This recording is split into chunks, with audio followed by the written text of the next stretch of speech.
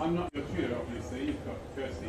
Uh, but I'm David, I'm from the Maths Learning Centre, and I'm actually running the first part of your tutorial today.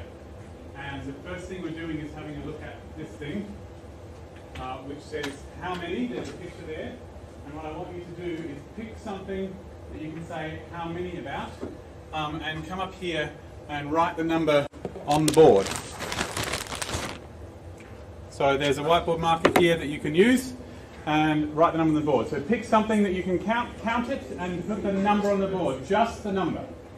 Feel free to, and please do talk amongst your groups.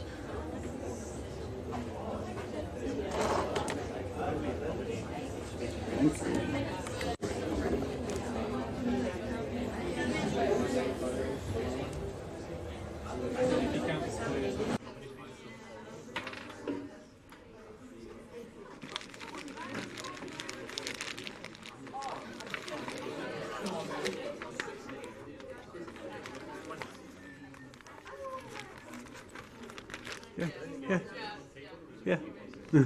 So if, if you like do cups, for example, we just write 16. Just write the number. Oh, they do. Did you want me to move the board over there? Or? No, no, because I've, I've got a plan. Oh, okay. I'm gonna. Can I say what? No.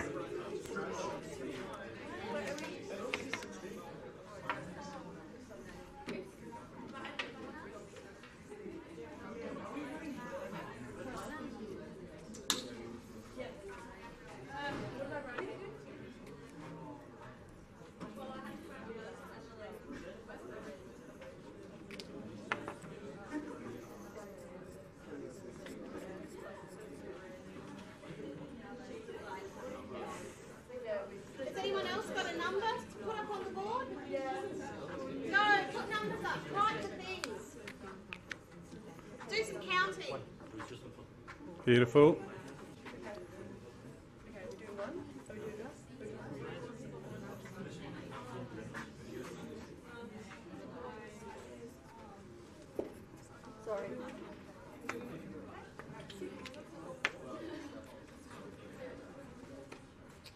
That's a very cool t-shirt.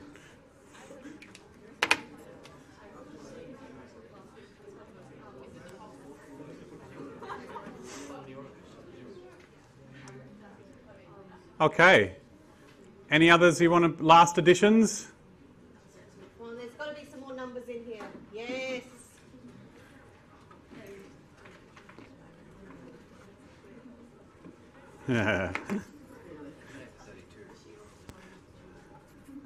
All right, I'll, I'll do that unless you're coming. No? All right. So um, I'm going to ask some people um, to tell me what their numbers are. So someone who has said, said 16, can you tell me what that is, please? Cups? Okay. Uh, what is this 17,166? Likes. Uh, which brings me to the point that this is an Instagram picture. Um, and if you go and have a look at this guy's Instagram, it's really cool. It's mainly photos of food arranged interestingly, um, if you want to go and look at it. Uh, who said this? Eight. What is eight? Slices. How'd you get that? Could you be more specific? We we put all the halves together and then we put all the quarters and the three quarters together and we added eight. Oh, okay, so those two together to make one, and that with that to make one, and then you counted eight that way. Cool. Um, who said this one? What's that? One square. One square. Well, that's interesting because I think there's three squares.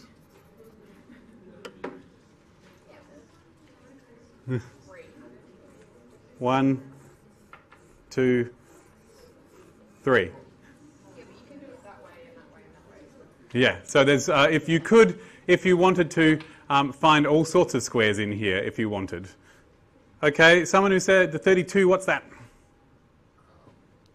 all the blank spaces as far as the cuts. No, 32 quarters that weren't filled. 32 quarters that weren't filled. So, like one, two, three there, and two there, and one there. Cool. And someone who put the zero, what were you thinking? oranges. There are also zero squids, um, or cats, if you really wanted to go that way.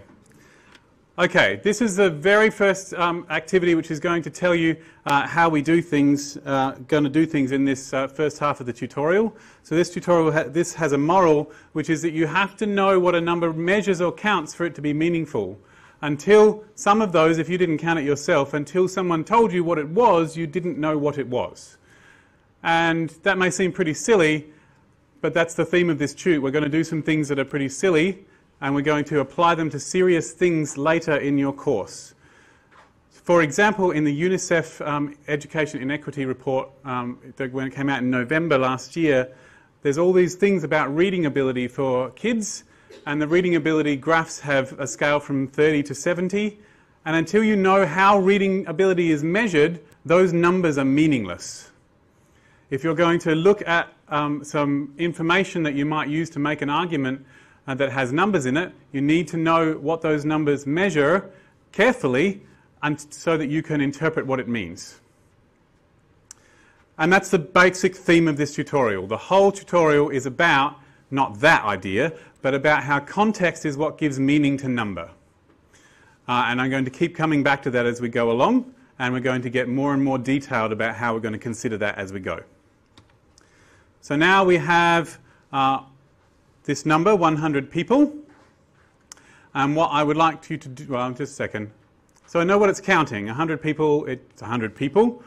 Uh, but I don't know how big this number is. I mean, I know how big 100 is, but I don't know if 100 is a big number. Because if I someone, asked someone to count how many people there were somewhere, and they gave me an answer of 100 people, sometimes I would go, wow, that's big. And sometimes, if I asked someone to count, count people and they said there's 100, I would say, oh, that's, that's not very many at all. And sometimes I say, oh, yeah, that's what I would be expecting. So, what I'd like you to discuss in your groups uh, is if you saw 100 people, I want you to discuss when it would be big, when it would be small, and when it would be somewhere in the middle. It would be really cool if you could think of a situation where 100 people is a possible answer and when it would be big, small, or in the middle. So discuss, please, and I will take um, responses from each of the groups in a minute.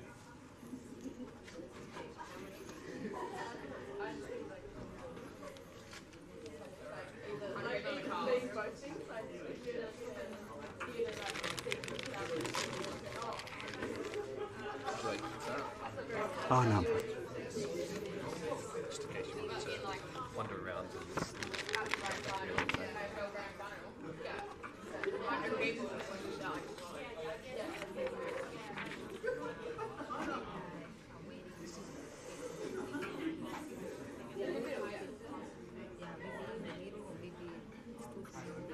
What's something easy to expect 100 people for?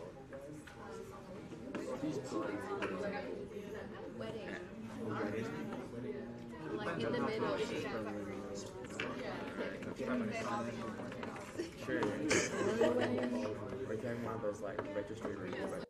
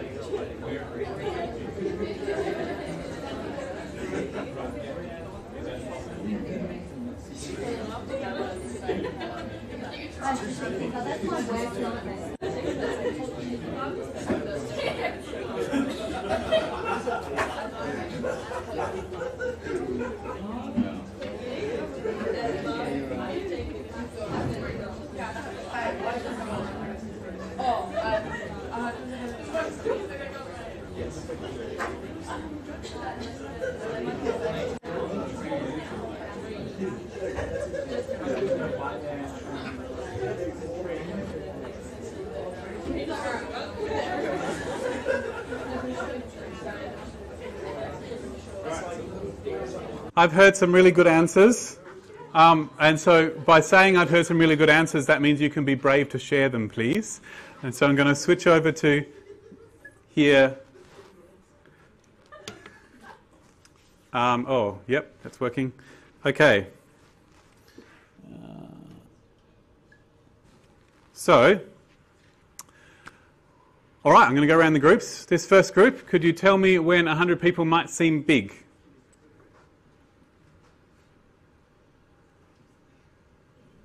Yep. I had an answer for small. I didn't have one. Oh, give me one for small then. In a sports stadium. Sports stadium. So the players might feel a bit, bit sad that there's only 100 people there. Depends on the sport, I suppose. But I guess compared to the size of the stadium, it's always going to be small. What about at the back there? Give me one for the other two. Um, we said that if a hundred people randomly walked up to your, your party, Yep. You could get Yep. So at a party at your house. and then for middle, we said like if you surveyed a hundred people. That'd be always the always the answer on Family Feud. Yeah. Okay. So the middle back there. Got any one of them? 100 people on a bus would be big.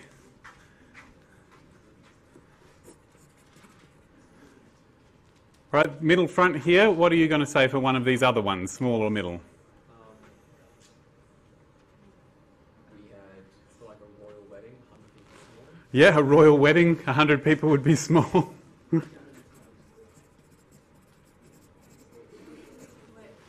oh, crap, you're right. Do you know why I got confused? Because they're in the wrong order. So big, middle, small, that's what I, that's my fault. And this last table over here, one for any of these. Uh, in the middle, international flight. International flight. You guys had a good big one for one where 100 would be big. They said an elevator.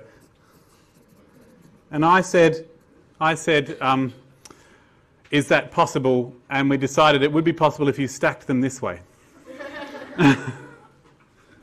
okay, so you get how this game works. And we'll do the moral of this game in a minute, but in order for me to set up the next activity, I'm going to get you to do this again, uh, but for two other numbers. So for two kilos, two kilograms, and for five hours, could you please discuss this same concept, please?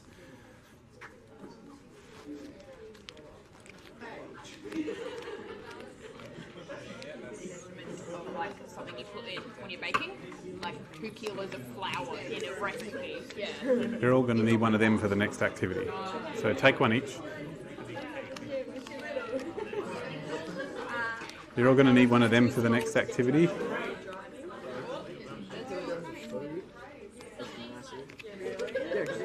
You're all going to need one of them for the next activity. Oh, you're a big group. You're all going to need one of these for the next activity, so you take one each. We have a really uh, important debate we need to get settled. You're all going to need one of these for the next activity. And what's the date of debate? Is it a chicken parma or a chicken parmi? Parma. Parma. Parma. Parma. So I'm, I'm, I'm seeing like a song, like a dance song made out of this. I'm not going to tell you an answer either. nice. Okay.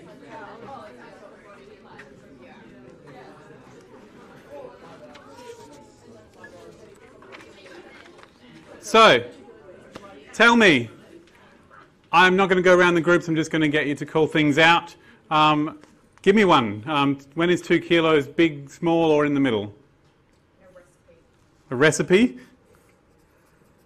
A recipe requiring two kilos of anything sounds like a big amount.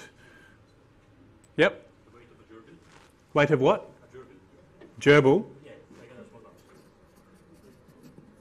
Bit like a hamster. Um, yes, that would be an extremely large gerbil. Or a guinea pig. Guinea pig. Though I reckon not impossible. Some of the ones I've seen at the Adelaide show are pretty huge. Except even even two kilos is a pretty fat rabbit. Yeah. All right, so could someone volunteer a time when two kilos would seem small? Yep. A baby. This is this is interesting because we had this. We had this discussion the other tutes. A baby, it's about the right zone for a baby, but we actually Googled it and looked it up, and babies are, on average, most of the time between two and a half kilos and four and a half kilos, and so two kilos is small for a baby, but not impossible. Um, when is two kilos just somewhere in the middle?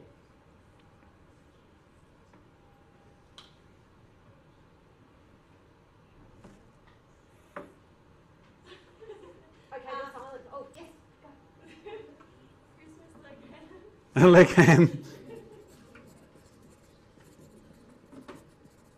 Beautiful.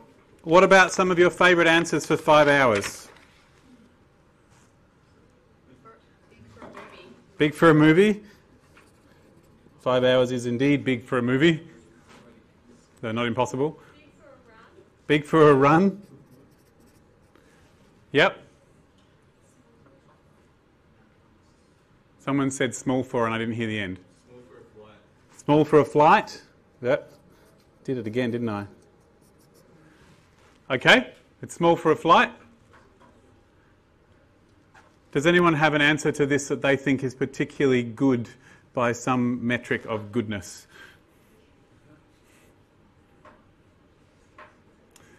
Oh, well, all this week, um, yeah. A shift? That would be a big shift? Yep. Uh, for teaching in the Maths Learning Centre, it's pretty long because we're only open for six hours a day. okay, cool. I should tell you that um, for the two kilos, uh, well, actually, for five hours, um, several other tutorials have said five hours would be long um, to be in a tutorial. Um, though you should note that over in the chemistry degree, you do five hour labs.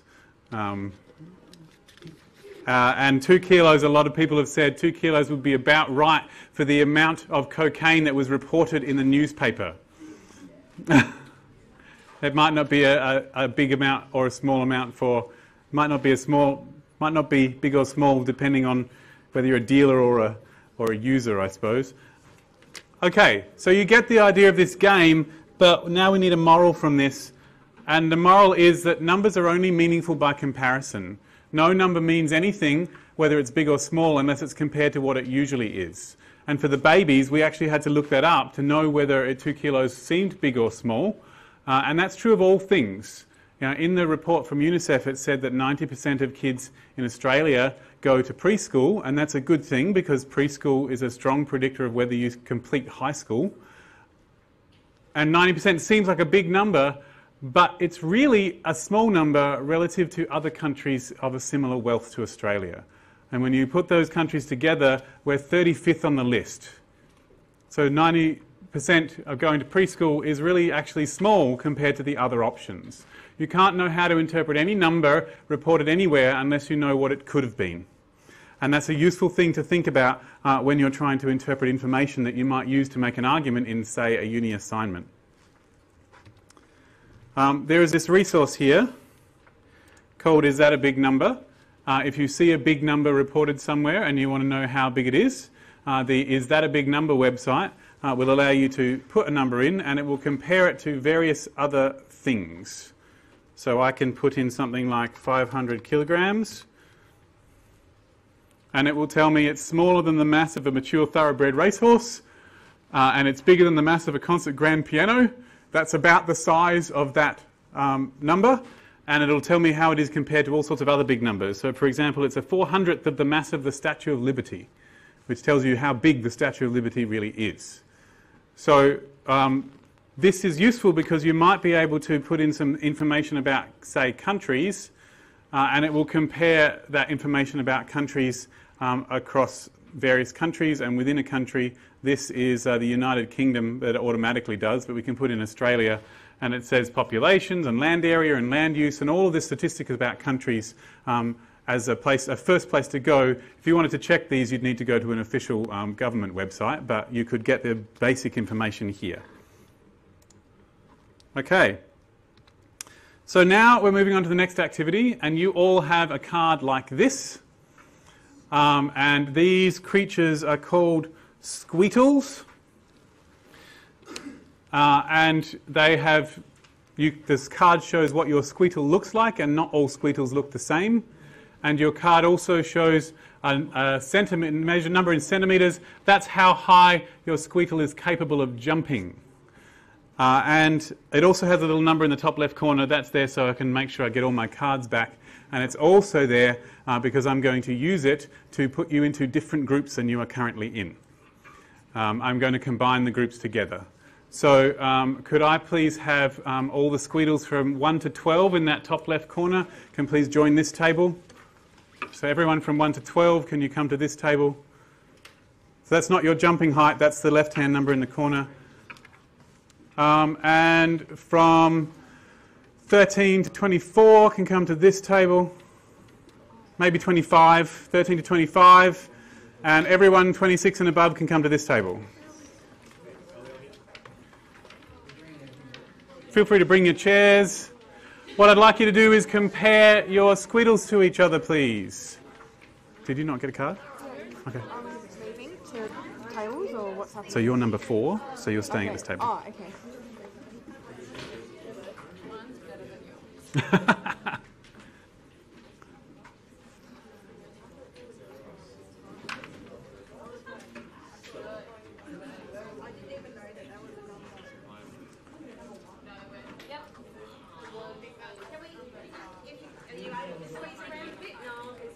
You can come around this side.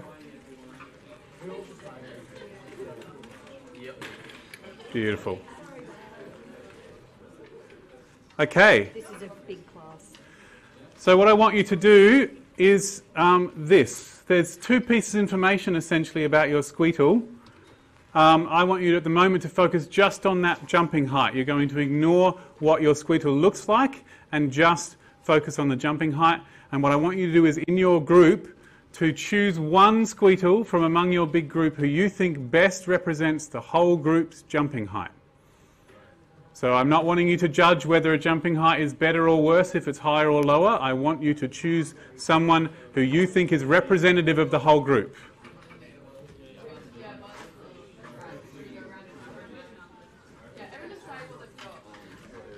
That's yours. You're going to join that last group over there.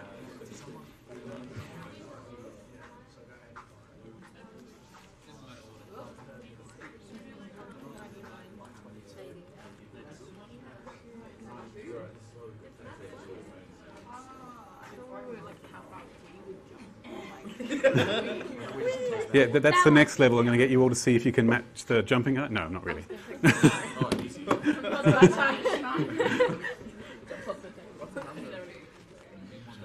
okay, it looks like everyone.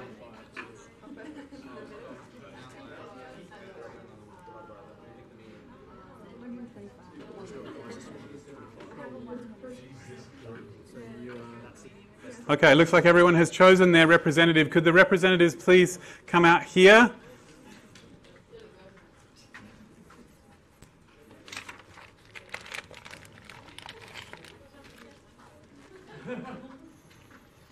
All right.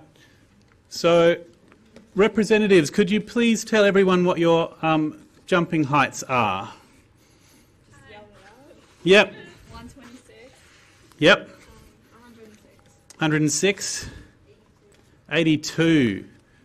I might move this over a bit then. Okay. Could you line up next to your number, please?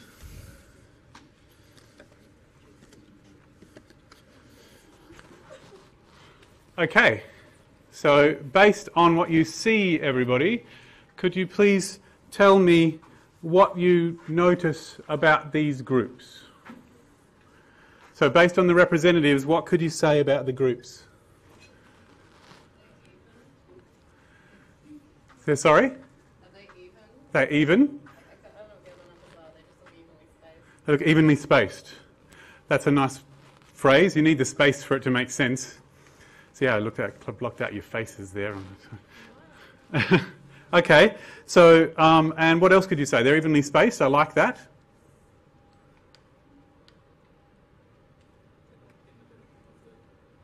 They're not in the middle of the scale, so this goes to 50 to 200, and the last one is about 120 something ish. Um, okay, that's that's beautiful. I like that's very good noticing. I've got an even more basic noticing than that. It seems that this group seems to be higher jumpers in some sort of general way than this group, based on the numbers that we've gotten from their representatives. Can I please ask, uh, what's your name? Jessica. Jessica, could you tell me how you were chosen? Uh, we added all of our numbers together and then divided by the how many in our group. So we added them all and divided by how many in the group. Okay. Uh, how were you chosen? Uh, we found the median, so we just went like we lined them all up in order and then went like that until we went to the middle one. Right, so you lined them all up, all up in order, and you found the one in the middle, and you called that the median. That's good. Yours is most people call it the average, but mathematicians call it the, the mean. And how did you do it? Oh, we did the same as the first You did the same. So you did the mean. everything and then just divided. Yeah. So they're both perfectly legitimate ways of picking a middle, and actually they have different properties mathematically, um, and so we choose them in different situations depending on um, what we want to, the kind of data we're looking at. Uh, and I think Kirsty's mentioned Yes, that previously. Um, so yesterday, so a really interesting example of this is when we're talking about the average wage in Australia, because it's calculated. If it's calculated using the median, Me- median. median, it's that's the one where you just pick the one in the middle. Yep. Yep. It's about forty-five to fifty thousand. If you use it the mean, so you add everything up and then divide it, it's about eighty-six thousand. So there is a huge difference. So often, particularly when you're listening to political spin, when they're talking about, so there's been discussion around tax cuts, and they'll be talking about, well, the average Australian is earning eighty-three thousand dollars, eighty-three thousand dollars a year. Um, that's so it really depends on how you work it out.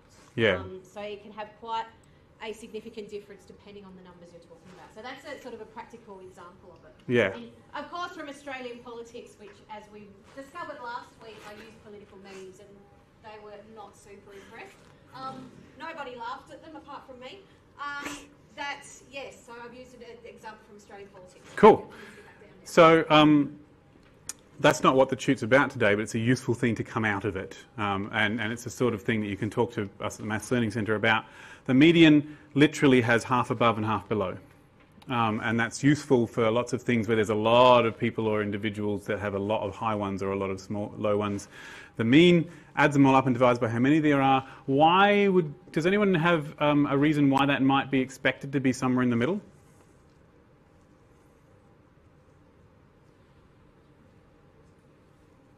They all need more caffeine today, I think. Yeah. Next week, you bring your coffees.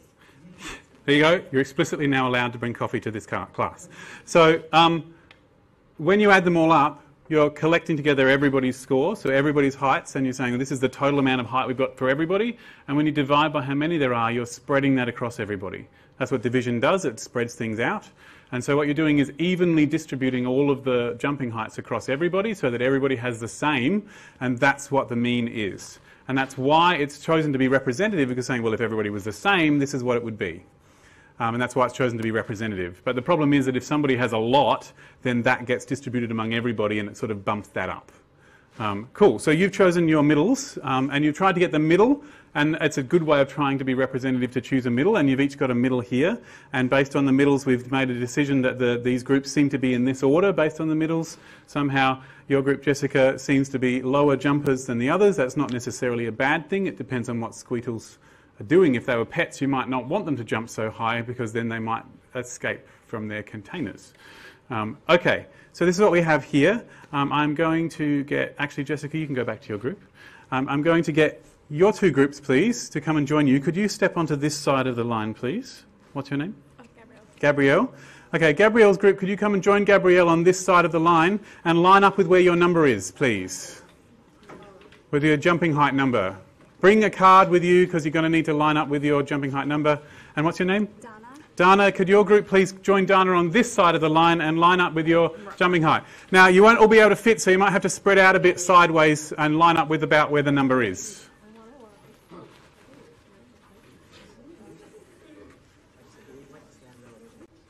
So, what do you see? Everyone's sort of in that general area. Like there's no one really lower than 60-ish and no one much higher than like 160. 160? Yep. So everyone's in the same roughly general area? Yep. It's slightly remembers normal distribution. Sorry? Slightly remember uh, remembers the normal distribution. So it's, it's reminiscent of a normal distribution. So it's like clumped in the middle, but not so much on the edges. Is that what you mean? Yep. And I notice as well, could the representatives please put your hands straight up high? That's where you are. One, even though the two representatives, um, the means, the averages were one above the other, uh, it turns out that the groups are really not that different from each other. They're roughly at the same spot. Um, but I mean, generally yours is a little bit on the clump is a bit lower than the clump is here. So the groups in general, one is a little lower than the other, but we can't really say that about any one individual. One group is higher than the other, but individuals can be higher or lower than the ones in the other groups. Go back to your tables, please. We're still being in the big group for the moment.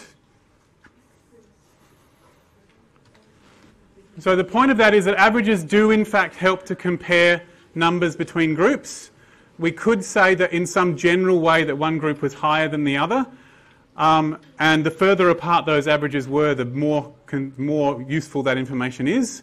But averages don't necessarily represent individuals. Just because one group was higher than the other doesn't mean that every person in one group was higher than every person in the other group. So that's two pieces of information you need to keep in mind when you're interpreting averages.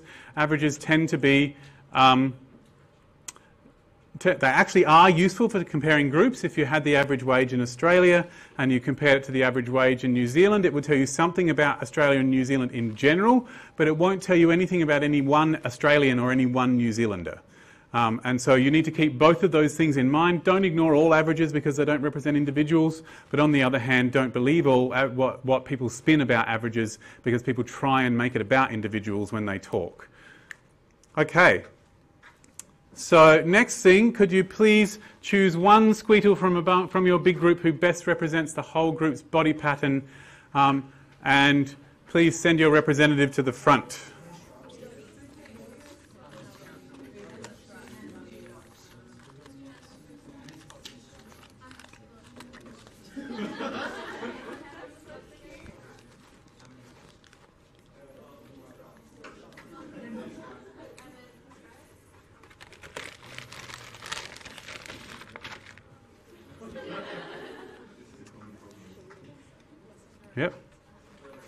What have you got?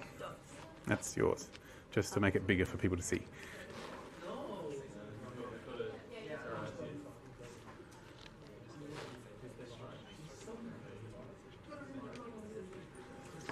What are you?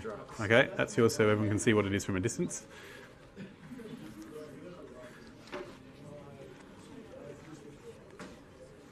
You made a choice? You're very brave. Lots of other people have just chosen the same person who they got chose the first time. All right, which one were you? Stripes. Stripes. That's so everyone can see what you are. Come out here. Okay. Could you hold it just down? I'm just going to get you to put it down. There you go. Hold it down so it's on the camera. Beautiful. So this is what we have. We have one group that's chosen stripes, one group that's chosen stripes, and another group that's chosen spots. Could you tell me how you were chosen? We all put a little vote to see who had what our majority was. Yep. So did everyone choose it based on the majority? Cool. Um, so how many people in your group are spots? Four? Four out of 12-ish? Okay. What about your group? We had five spots. Actually, do you know what? Could the people who have spots please stand up? Yep, for every group. Okay, so in your group, um, you had mostly stripes. Yeah. And in your group, you had mostly spots. And in your group, it's roughly even. Okay, so but by you choosing stripes, you've left out a lot of people um, if you're going to be the representative of this group. And actually, even you who've chosen stripes, and you've only got four spotted people, um, you still left all the spotted people out. How do you think spotted people feel about that? Spotted in this group? How else would we have done it? How else would you have done it? That's a good question. We'll cover that. But I do want, I do want to say that if you always choose your representative from the majority, you will systematically ignore people in the minority. There are only 3% people in Australia who, you can sit down. There are only 3% of people in Australia who are of Aboriginal heritage and they are systematically ignored because they're not in the majority.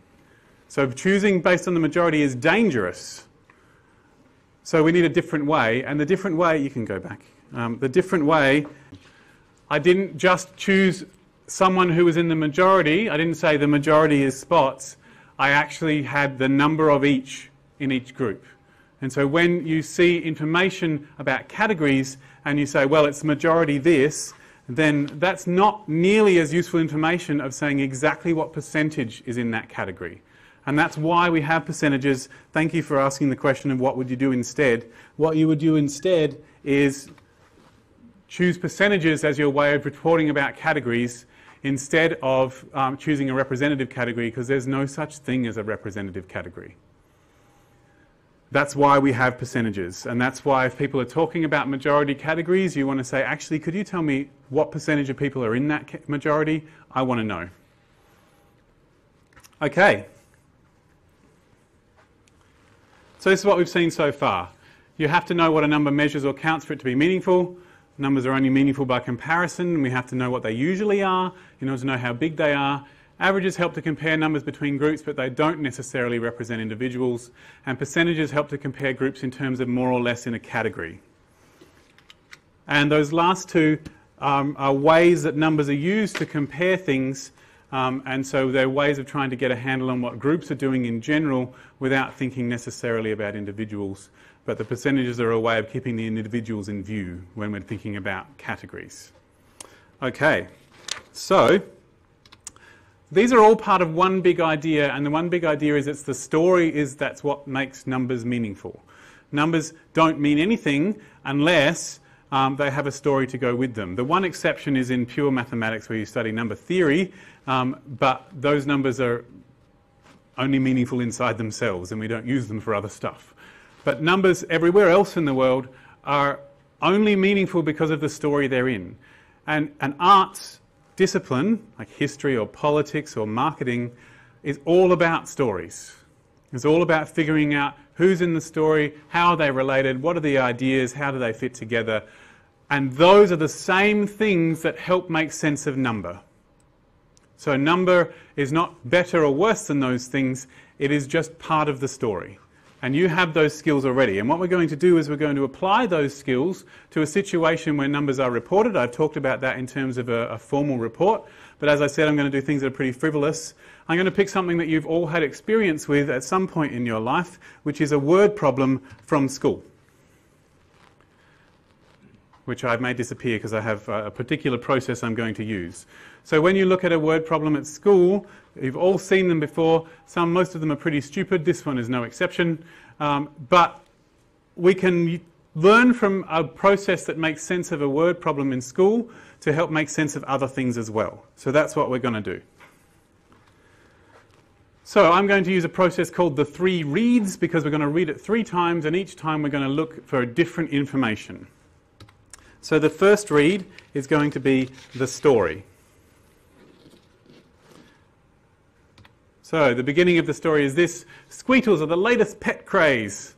An online poll asked people to choose which of striped or spotted Squeetles were cuter. I'm going to get you to talk for about 20 seconds among your group about that and then ask for some responses. Go.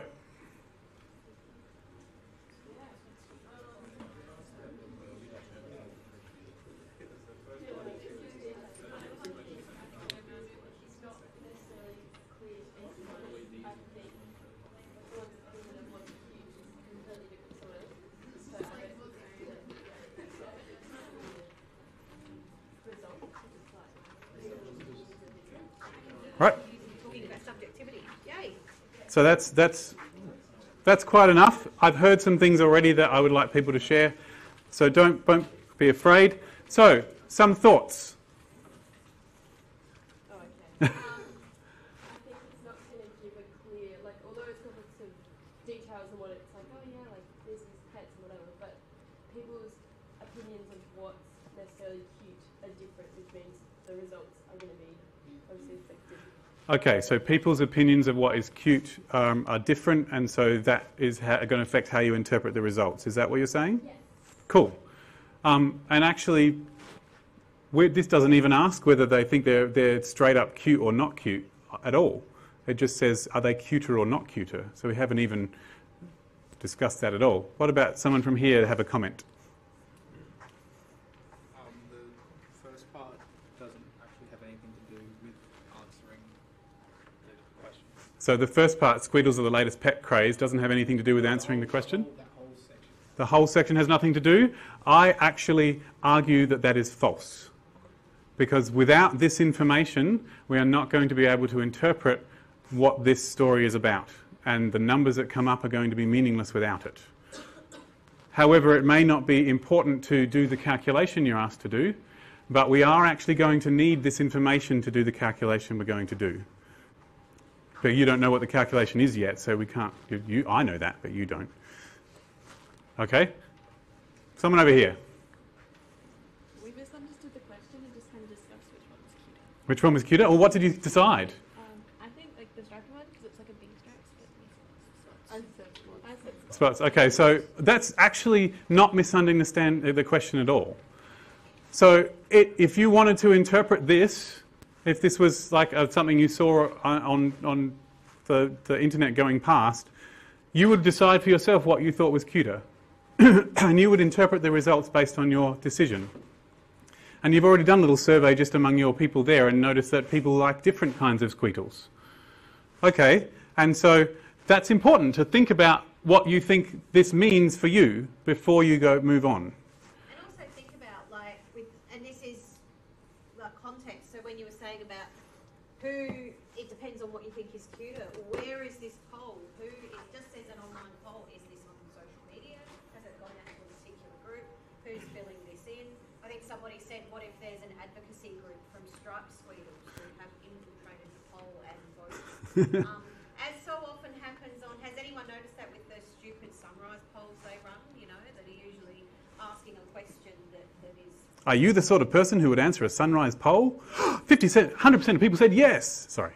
And, and, and you do, you find often with those polls, so things like should should New Start be raised or usually Right. things with a lot of political. I'm going to stop you if that's okay, Kirsty, because I have to go to the next shoot soon.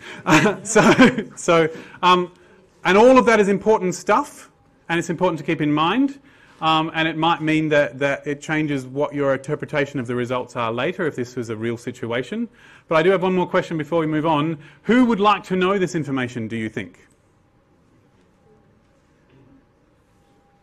The pet store? A pet store? Maybe a pet store would like to know which um, people thought they were cuter um, so that they could either put more effort into making them think that the other one is cuter or stock more of them, maybe? Yep. General public who are looking to buy them, and why would they want to know? so they uh, have the one that's more popular. They have the one that's more popular so that nobody shames them if they've got the wrong one. Okay, cool. so, here's our next bit of the story. From some number of responses, some percentage said that spotted squeetles were cuter. And the reason I've covered up those numbers is that they're not actually part of the story. I mean, they are part of the story, but I'm just looking at the general story. Their details we're going to look at later. Before we look at those numbers, we have to decide what we're going to do with them when they come, because if we decide what we're going to do with them after looking at them, that will sway our choice. So we're going to decide what do we think is a number of responses that we think is useful for those purposes we discussed um, of finding out about squeetle cuteness. Sorry? 100. Okay, that's a not, a not a bad number. Um, would you think 100 is big or small, do you think, in this situation? Or what situations that are here might, where it might it be big or small? Yep. Depends on the sample size. So, like the, the size of the group you're trying to look for. So, uh, the population size is what statisticians call that. Uh, and yes, it would be nice to know. I mean, if you're looking at all, all children in Australia, maybe that's millions of people, 100 might not be representative of that. So, what would be a number that you would think would be useless? Yep. 10. 10's not too good. Why is that? Not many. Just within a, just within a small community, like within, within a one school, maybe. Okay. But even that, 10, you could just accidentally pick people who are all the same. Yep. I think that we should use fractions. So, for example, one tenth is of the responses uh, is not enough. While nine tenth out of the responses, then it's a good number. Okay, are you talking about this here? So from number of responses, we should use a fraction. Oh, so use a fraction. So you're saying, well, maybe if you had a school with 300 people, you're hoping to get maybe at least 30. Yes, but if, because we don't know the, how large is the total, we use a fraction, we can overcome this limit. Okay. But there are some numbers that if they were very small, we'd still think that they're not good no matter what. Obviously, if you only ask two people, then it wouldn't mean anything. Okay, what about this percentage? What percentage do you think would be um, useful to know about? What's significant mean? You've just said something that matters. Uh, what would be useful would be something that's useful. Yes. Right. Great. Thank you. like in a context. So if you wanted to not be shamed for choosing the wrong squeetle, at what point would you commit to a particular kind of squeetle? Do you think? 70? Yeah. Eight- kind of like a norm. So Yeah. like 80. 80%? Anything over 80? So anything close to 50%, you'd go, oh, there's enough people who agree with me. Yep. Okay, so we've got some ideas about how we're going to interpret the numbers when they come. Let's see what they actually are.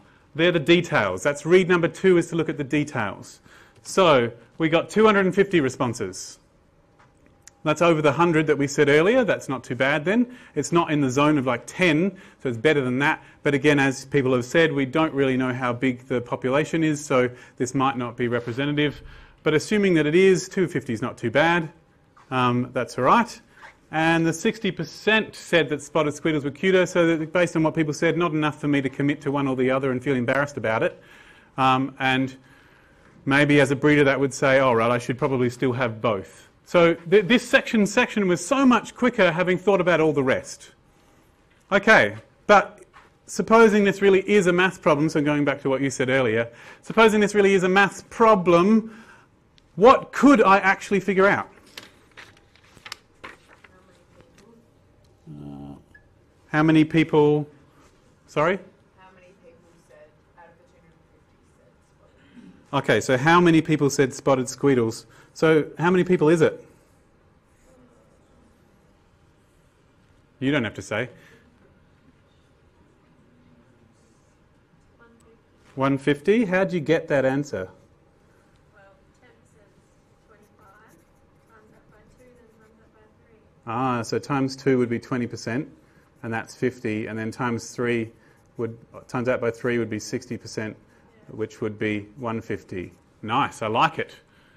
Um, some other methods that people have done in the tutorials this week um, are to go, well, 50% would be half, which would be 125, and then 10% is 25, and so you add them together to get the 60% to get the 150. And that's another way of doing it. And other people have gone, well, I'm just going to go the 250 times 0.6 because 0.6 is the fraction that, that 60% is. And all of them are valid ways of going about this, and they all show various different understandings of how numbers work, and I think they're all awesome. And so the moral of that is if you come to the Maths Learning Centre with calculations, I'm not going to shame you if you do it another way.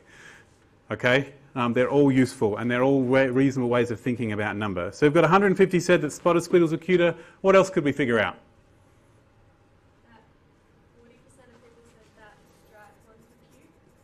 Or, yes. You said, or yeah, did you have a, a misgiving about that? You could say 40% don't think that. Spotted. The, the 60% don't think that striped ones are cuter. Yeah. Yeah. And why would you want to be a bit hedge your bets and not say striped?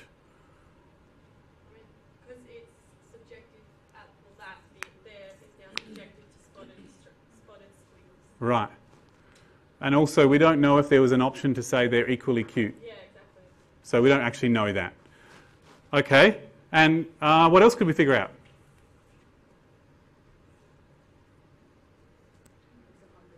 That's 100 people.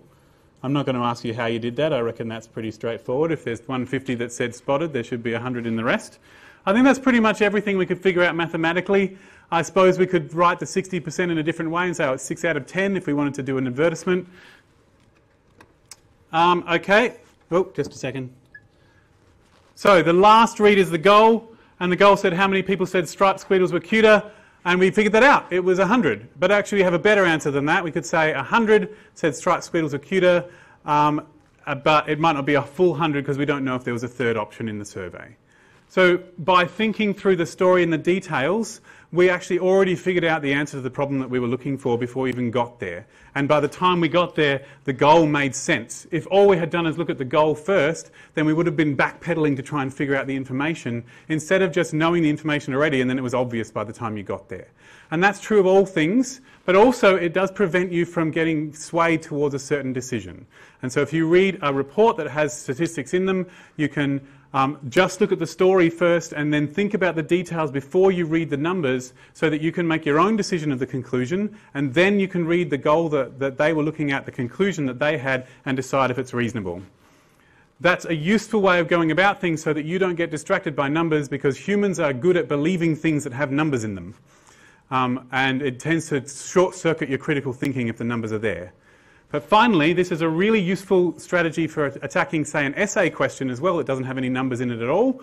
If you just look at the story, like a history essay, if you had um, a time person in a particular time period, you could look at that time period and think about what's going on. You could look at the person and think about their relationship to what's going on, and only then look at the goal that you've been asked to talk about.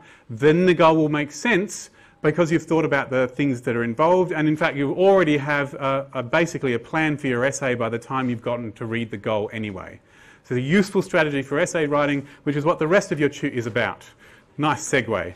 Last thing to say summary the story is what the makes the numbers meaningful, and you have the skills to make sense of numbers because you have the skills to make sense of story. They are the same skills. But if you want to know about the details, um, well, you can't know a terminology unless someone tells you, and calculations are specific things. If any of those things come up and you want to know a statistical terminology, they say adjusted for, adjusted for age in a statistics thing, you can come and talk to us about what that means at the Maths Learning Centre. We're on level three of Hub Central, um, two levels above this, uh, and 10 a.m. to 4 p.m. Monday to Friday. Um, any time in there, sit down and someone will come up to you and say, did you want to talk about maths? And it could be anything from a percentage to a course with, a with a, the maths in the title and everything in between. You can talk to us about all of those things. Um, Monday is the busiest day because that's the day the first year maths assignments are due. And everyone comes on the day it's due. Thank you very much for having me. I've got another tute to go to.